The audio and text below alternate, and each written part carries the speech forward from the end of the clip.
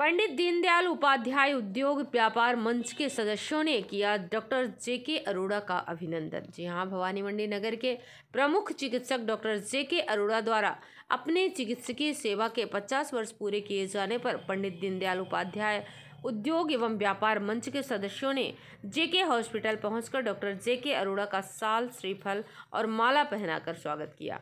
बधाई दी एवं लंबी आयु की कामना की।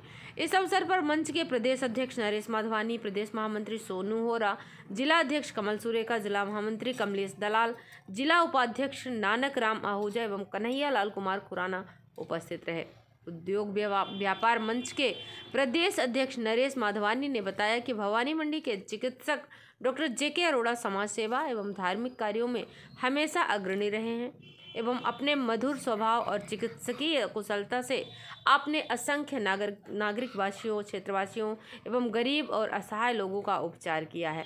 साथ ही नगर की सभी प्रमुख संस्थाओं को आपका संरक्षकत्व प्राप्त है।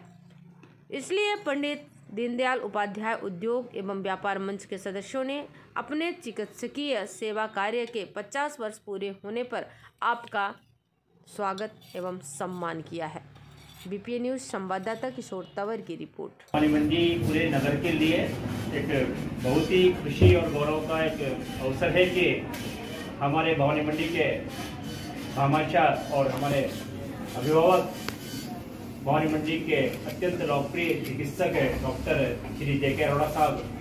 आज अपनी भवानी मंडी में चिकित्सकीय सेवाओं का 50 वर्ष, उल्लेखनीय 50 वर्ष आज पूर्ण करने जा रहे हैं और 50 वर्षों में आपने पूरे भवानी मंडी को अपने हाथों से संभाला है, सुरक्षित रखा है। छोटे छोटे ग्राम, ग्रामवासियों का, हम नगरवासियों का आपने उपचार किया है।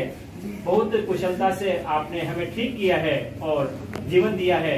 इसके लिए पूरा भवानी मंडी और आसपास का पूरा क्षेत्र आपका बहुत बहुत आभारी भी है और हम ईश्वर से यही प्रार्थना करते हैं कि आपके हाथों में, आपके शरीर में ये शक्ति लगातार बनी रहे। आप लगातार आने वाले 10-20 वर्षों तक भी हम सभी का इसी तरह इलाज करते रहे। हम सभी को अपने चिकित्सकीय अनुभव का लाभ देते रहें और आप शतायु से अधिक को प्राप्त हो।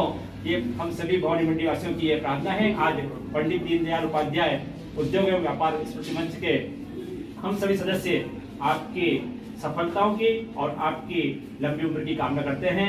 पुनः आपको बहुत बहुत बधाई और साधक चरण